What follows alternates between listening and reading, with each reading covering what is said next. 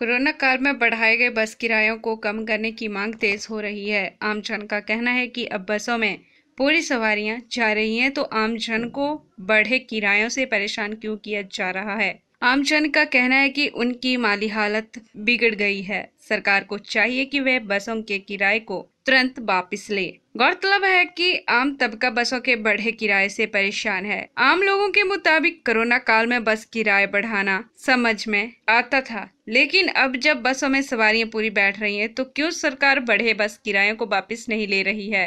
आम जन ने सरकार से आग्रह किया कि गरीब की स्थिति को देखते हुए तुरंत बसों के किराए में कमी की जाए। लोगों ने बताया कि कोरोना काल में बढ़े बस किराए को सरकार अब वापस ले, क्योंकि बसों में पूरी सवारियाँ सफ़र कर रही हैं। उन्होंने कहा कि बढ़े बस किरायों से उन्हें परेशानियों से दो चार होना पड़ रहा है। गरीब जनता के बारे में सोचकर सरकार फैसला करे, ताकि आम जन को राहत मिल सके।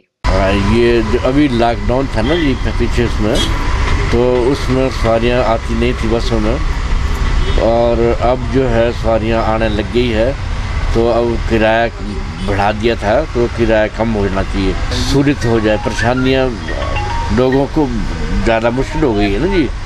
बढ़ा दिया किराया ज़्यादा बढ़ गया है। हाँ जहाँ तक किराए की बात है निश्चित रूप से आ, ये कम होना चाहिए था। अब यदि सवारियाँ कम है तो कोई ना कोई कारण तो रहा होगा।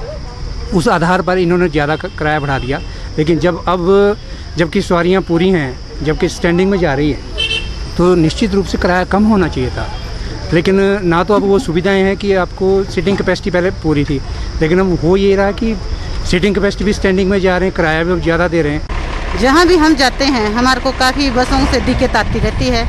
उसमें बहुत किराया बढ़ाया गया है, जो कि लॉकडाउन के अंतर्गत। हम चाहते हैं कि ये लॉकडाउन में ये किराया कम किया जाए। क्योंकि जो भी लॉकडाउन से दिक्कतें आई है, उसमें हम इतना सही सरकार से विनती करेंगे कि बसों का किराया कम से कम किया जाए। पीआरटीवी के लिए सोलन से अमरप्रीत सिंह की रिपोर्ट।